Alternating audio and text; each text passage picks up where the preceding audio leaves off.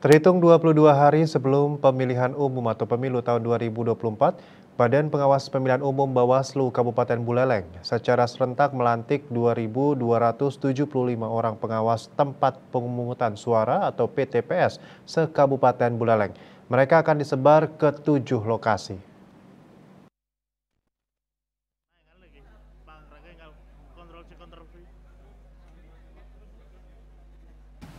Ketua Bawaslu Kabupaten Buleleng Kadek Carna Wirata menyampaikan PTPS yang sudah dilantik nantinya memastikan semua proses pelaksanaan terkhusus di TPS berjalan sesuai perundang-undangan, melakukan pengawasan, panduan dan tata cara yang harus dilakukan di TPS serta melakukan netralitas.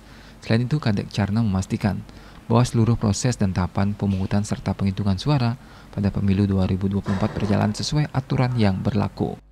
Pengawas TPS dibentuk berdasarkan peraturan undang-undangan. Jadi dibentuk oleh Undang-Undang 7 tahun 2017. Tentunya kewenangan dari kawan-kawan pengawas TPS juga diatur di dalam ketentuan peraturan undang-undangan yaitu Undang-Undang 7 tahun 2017. Nah, hal-hal yang menjadi perhatian kawan-kawan pengawas TPS adalah nanti harus mengawal pergerakan kotak suara dari tempat pemungutan suara ke PPS Nah, jika itu kemudian tidak dilakukan oleh kawan-kawan pengawas TPS, itu bisa berpotensi dipidanakan.